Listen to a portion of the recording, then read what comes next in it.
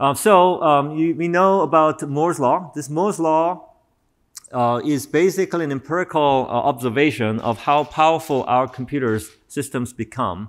Um, and what this law says um, is um, since the early 70s, for the last 50 years, every 18 months, every year and a half, our computers have become um, twice as powerful. And what that means is over the course of um, 30 years, our computers have become uh, more powerful by a factor of about, about a million. Um, and then over the course of 60 years, we project our, our computers will be um, more powerful by a, a, factor of a trillion. But we see um, that the Moore's law in, in all practical uh, purposes is slowing down um, because our ability to make the devices uh, that form these computational machines, uh, the transistors, smaller and smaller, we're running into limitations. You cannot make a transistor that is smaller than a single atom, for example.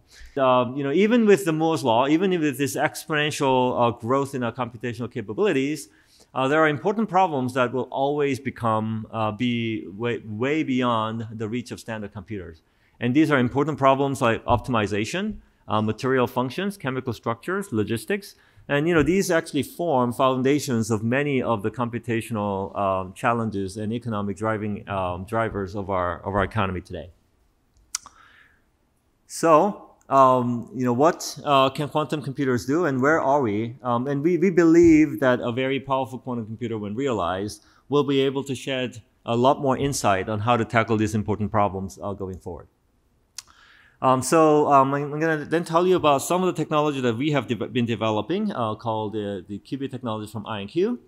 Um, and you look at this figure, um, and there's a little uh, chip, and that chip uh, looks like a little bow tie, uh, right?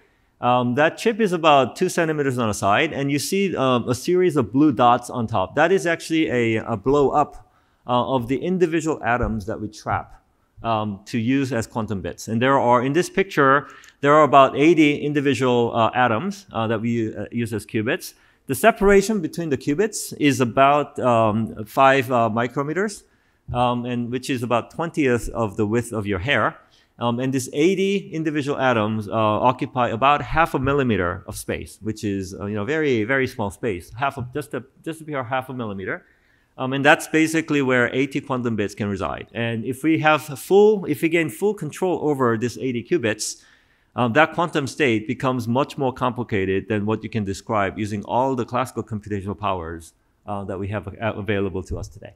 Okay, and we uh, out of these, uh, we are building our capabilities to fully control and um, execute computational tasks on, this, on these machines. Um, for example, uh, this is an example of how we uh, manipulate the qubits. Uh, that um, uh, picture on the, at the bottom is our, um, is our chip that where we manipulate the qubits. Uh, individual atoms are loaded in the loading zone, and then we can actually change the voltages to bring these atoms together. And here we're adding atoms one by one to a chain. And we have uh, programmed our system to, to load exactly 23 uh, individual atoms. And they can be actually made uh, prepared uh, and get made available for, for quantum computers. So this is how we actually prepare our quantum uh, register. Uh, where are we today with this, and what can this um, what can this potentially do? Um, the the the challenge is we, we all know about artificial intelligence or machine learning, big data. You know, this is kind of has really provided us with a very powerful tool um, to control and understand and control um, how things behave um, based on accumulative data. Okay, so all of this typically start from the big data on the left. Um, and this is where you know um, data is collected, uh, and this is uh, enabled by the massive uh, deployment of know, data collection devices like your, your cell phones. Uh, and that um, collects data uh, from whether your, it's your shopping pattern or your, your travel pattern, whether you get onto a bus or, or, um, or subway. All of those transactions can be recorded. Um, and then you accumulate this data that shows how people behave, or for example. Um, but that is just just massive data, and you you cannot actually uh, recognize um, how how what information that that data by itself is is presenting.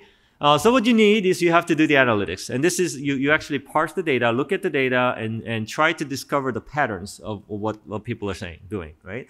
Uh, for example, what's the trend of online shopping this week, or you know, what where are people traveling um, next weekend or during our, our Chuseok break?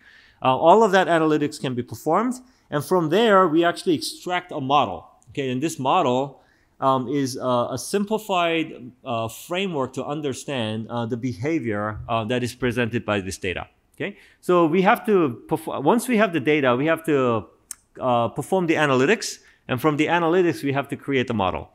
And once you have the model, then you can start to predict. Okay, and that's kind of what the what the power of AI and ML uh, machine learning is. Uh, for example, if you have a, a lot of collection of data of uh, how young people listen to music, um, and then you can actually start to recommend what this person would want next based on that pattern. So the model allows you to predict um, and then actually make projections of, of, of uh, what the future opportunities are. Um, what are some of the addressable uh, applications that we can think about today? Um, the quantum computers we have built are, are highly reconfigurable because all of the computations that we do is entirely software programmed by uh, tailoring the, the laser pulses that we apply to these things. Um, and then uh, it, it is, uh, be we believe that it can solve very difficult problems in, in many industry sectors.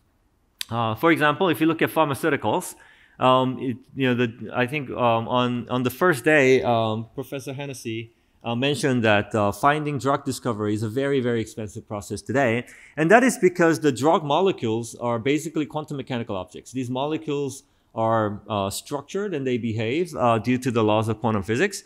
And just like quantum computers, there is just so many possibilities that uh, modeling these molecules uh, with classical computers turns out to be extremely challenging. Okay? So how do you search through a very large space of molecular structures that can actually uh, perform certain chemical reactions to, to kind of help with the therapeutics or, or diagnosis? Uh, that turns out to be a very expensive proposition. Um, and we believe that a, a very powerful quantum computer can help understand those molecular structures extremely well. And those molecular structures obviously are important in, in energy sectors and transportation sectors. Uh, in energy sectors, for example, people are trying to understand how to build more efficient uh, batteries, um, how they can uh, store and, and more, more, more energy and extract it more efficiently. Um, and those are typically based on chemical processes, and there is a similar uh, set of challenges in materials research.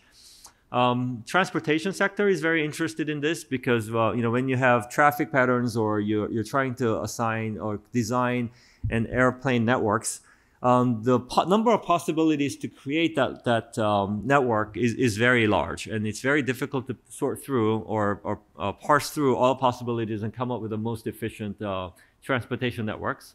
Uh, so there's a lot of uh, interest in the transportation industry uh, to think about quantum, using quantum computers to solve their problems. And of course, uh, in finances, um, the market models and portfolio optimizations, these are, are uh, highly critical um, and also potentially profitable uh, areas where the computational capability is not, just not able to keep up with the opportunities. The World Knowledge Forum